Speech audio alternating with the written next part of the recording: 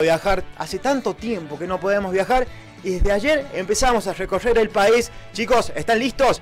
Veo que está toda la tripulación ahí en cabina. Sergio, ¿te pusiste el cinturón? Sí. Edith, ¿lista? Brenda, la estoy viendo. A ver, dale, Brenda, por favor, el cinturón. Vamos, bien. Sil, ¿todo bien? El acompañante que tenés al lado, bien. Se durmió, parece su acompañante. Bueno, me parece perfecto. Sil tiene un poco de miedo para salir a volar. Pero bueno, cerrar los ojos, Sil, porque vamos a despegar y nos vamos hacia Córdoba, sí, nos vamos hacia la docta, porque desde el otro lado está nada más y nada menos que un amigo, redactor Justin Córdoba, productor de Flavia TV, la está rompiendo. Es un pibe que, bueno, la rema todos los días y hoy en día, bueno, es un gran, gran productor. Se ocupa de las mañanas también. Así bueno, Gastón Gallo, ¿cómo estás desde la ciudad de Córdoba? Hola Maxi, hola chicos a todos, ¿cómo andan todos por ahí? Muy buenos días, Gastón. Bueno, preguntarte antes que nada, ¿cómo está el clima en la ciudad de Córdoba? Y el clima acá también se está asomando el sol. Ahí te estaba escuchando a vos que allá quiere asomar el sol, acá también. Así que ya va levantando un poco la temperatura.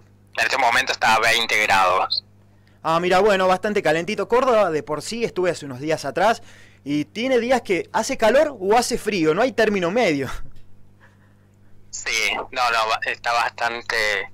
Estos días estuvo bastante frío, fresco, pero hoy ya vuelve a salir el sol, así que lindo para, para los turistas que vienen a, a pasar unos días de vacaciones. Así es, Gastón. Bueno, vos mismo lo decías, fin de semana de turistas, fin de semana de carnaval, y me imagino que el recambio turístico también va a implicar en lo que tiene que ver en las sierras de Córdoba, Carlos Paz, en Capital también. Este, contame cómo estás viendo la temporada así en un plano general. Bastante gente, bueno, ahora con el recambio turístico estuvo medio complicado porque este fin de semana anterior estaba el paro de colectivos interurbanos así estaba complicado para los turistas que llegaban poder trasladarse de la terminal o del aeropuerto en, colectivo, digamos, hasta la localidad donde haya tenido su reserva. Así que, pero ya está normalizado desde el día de hoy, ya se levantó el paro interurbanos, así que ya pueden viajar todos a la normalidad bueno, la importancia que tiene esto, Gastón, ¿no? de los colectivos interurbanos, ¿no? ya que mucha gente nos manejamos en estos colectivos y quizás dependemos y acomodamos nuestros horarios a estas empresas que, bueno, ahora cuando están en corte, eh, bueno, nos las tenemos que ingeniar porque, bueno, vos viste, si hay que ir a trabajar hay que salir cierta cantidad de horas antes y cuando hay paro, muchas más horas antes. Sí, bastante complicado la verdad, más que todo para el turismo, porque bueno, los colectivos urbanos, que serían los de los de dentro de la ciudad, funcionaban, pero los interurbanos, o sea, para trasladarse de Córdoba a Carlos Paz, por ejemplo, de Córdoba a Miraclavero, a los lugares por ahí donde están los ríos o los lugares más visitados por los turistas. Gastón, consultarte cómo estás viendo el nivel tema pandemia en Córdoba capital, cómo estás viendo los bares, las reuniones, se están cumpliendo los protocolos al ingresar a los shoppings, a los teatros, ¿cuál es tu visión sobre cómo se están aplicando? Sí, se están aplicando correctamente, en su gran mayoría obviamente que hay excepciones como, como siempre a todo esto, pero en su gran mayoría se están cumpliendo, por ahí yo hago la diferenciación entre acá capital y el interior que por ahí se ve más, un poco más relajado. Yo que no soy de, de acá de, Córdoba capital directamente, sino que vivo y, mi familia vive en otra localidad, por ahí cuando viajo noto sí demasiada relajación en otras localidades, a diferencia de Córdoba capital.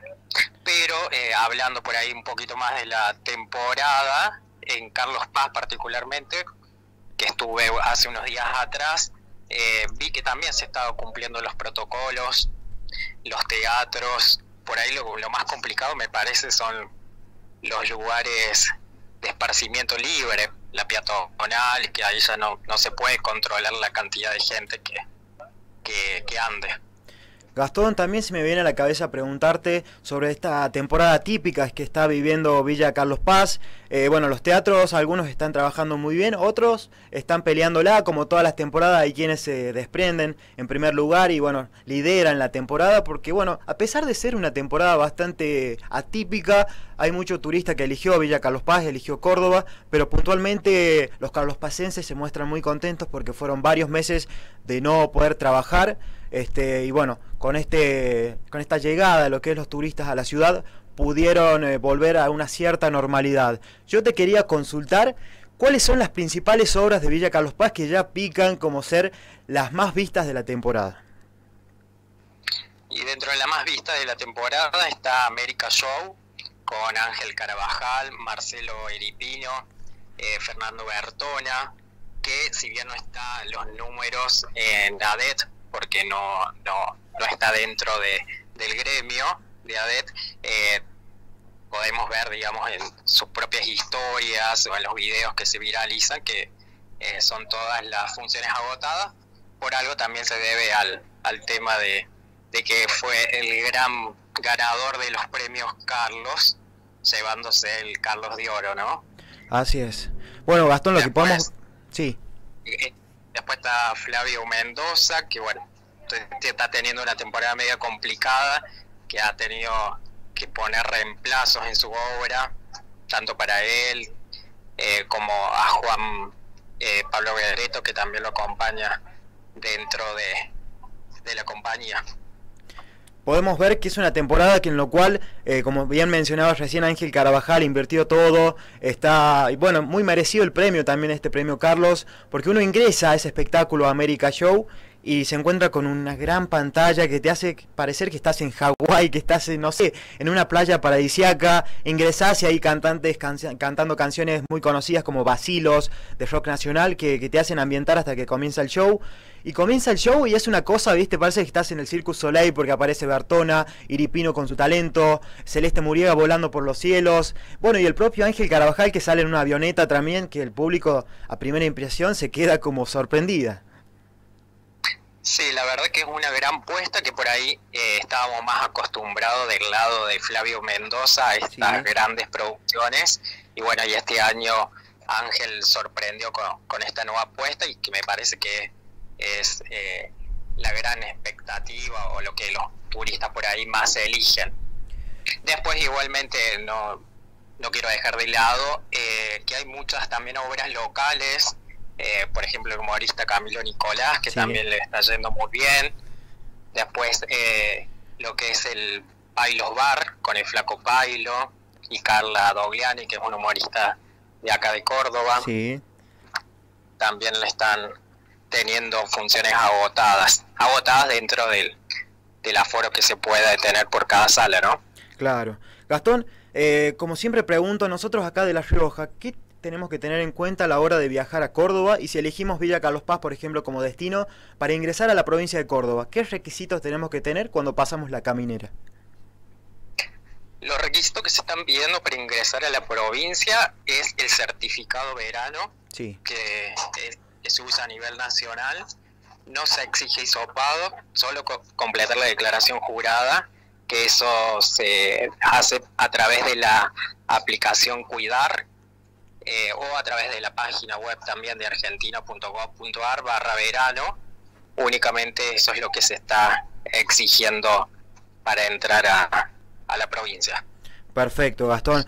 Mira, Gastón, estábamos viendo de fondo la imagen del cucú, pero porque uno piensa, viste, en Villa Carlos Paz, piensa en el cucú. Pero yo pienso en Córdoba, pienso en la televisión de Córdoba y ¿sabes qué se me viene a la mente? Se me viene Rating Córdoba. Yo te quería consultar si ustedes tomaron dimensión, porque ustedes son el medio del medio, y cómo llevan esto de, ser los representantes, de llevar el rating, de replicar todo lo que dicen los personajes de Córdoba a través de su medio Rating Córdoba. Sí, me parece que era algo que era que hacía falta dentro de, del medio local, porque por ahí estamos acostumbrados a todos los medios, incluso los medios de Córdoba, que abarcan más que todo las noticias o el material, digamos, de no local, sino el de, el de Buenos Aires, eh, y estaría, estaba bueno buscar esta alternativa de, equiparar o equilibrar las figuras por ahí locales que tenemos con, con las que están a nivel nacional, que para nosotros están a la misma altura. Así estaba bueno. Eh, y es una manera también de promocionar los programas y de promocionar el medio. Gastón, ¿algunas vez, ¿alguna vez les ha pasado que alguna figura de Córdoba se les ha enojado con alguna publicación que ellos mismos dicen porque ustedes se encargan solamente de replicar lo que dicen todos los personajes de Córdoba, pero se les ha enojado puntualmente alguna figura con el medio?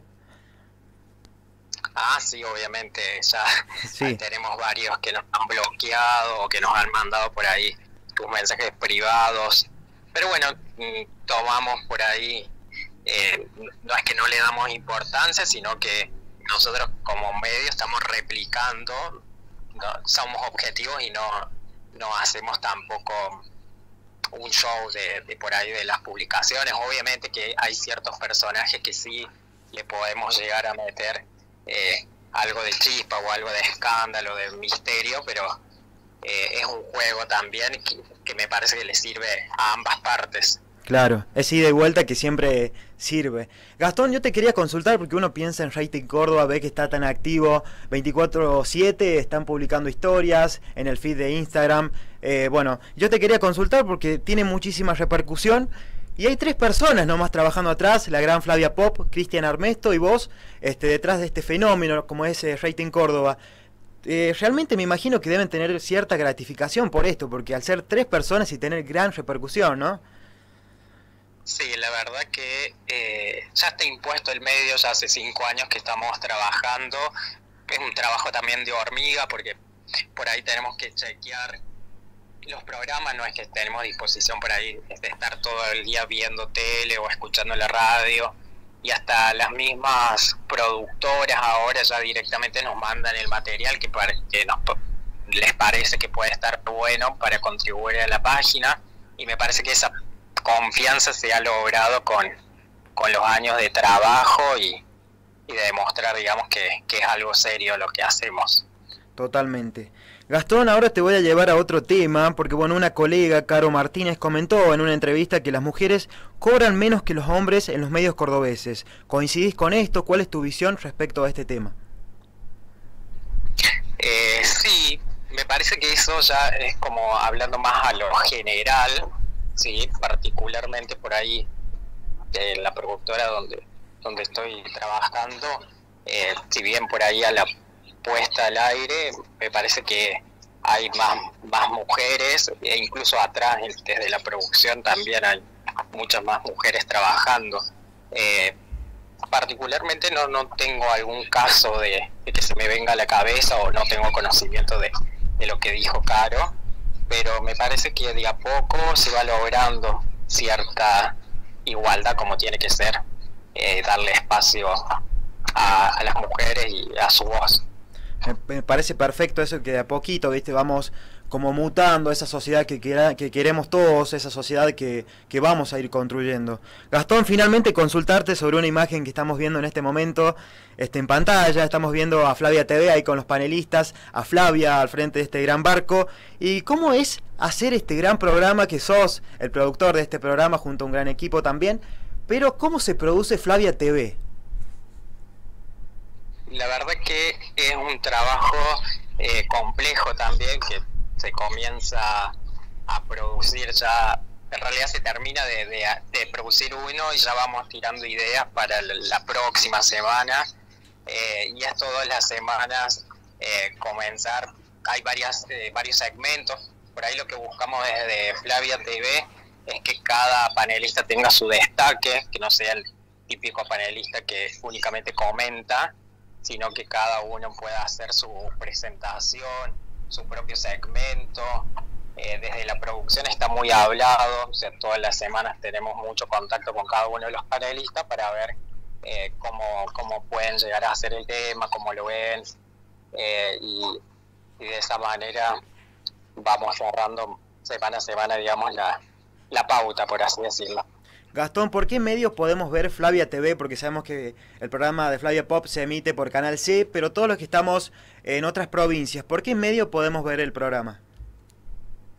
Y se transmite también vía YouTube, Sí, tenemos el canal de YouTube que se llama Flavia TV justamente, eh, que se transmite en vivo en el mismo momento que se transmite por Canal C, que son los sábados a las 23, 30 horas, eh, y a su vez queda bueno alojado luego la transmisión en YouTube para poder ver todos los programas que, ya hicimos, digamos. Perfecto, entonces... bueno, a través de la aplicación también de Cablevisión Flow, eh, a través de la señal 540 también se puede ver en vivo. Perfecto, así que la invitación está hecha todos los sábados 23, 30 horas Flavia TV con un gran ahí elenco que estoy viendo a Flavia, eh, Nico Domke, Tomás Ledesma, Mike Collini, bueno, Gastón Pedano que estuvo también nuestro amigo. ¿Va a volver Gastón? Vuelve, pronto vuelve y estén atentos porque hay más novedades, hay nuevas incorporaciones, por ahí lo que buscamos también es ir variando e incorporando eh, a jóvenes, a jóvenes nuevos que, están en este camino de la comunicación, del periodismo, darle el primer empujón y porque confiamos también en el talento de las nuevas generaciones y de eso también se trata el programa, por eso tiene que ver mucho con, con un zapping semanal, con los virales de las redes, con los TikToks hoy en día es lo más usado en los jóvenes.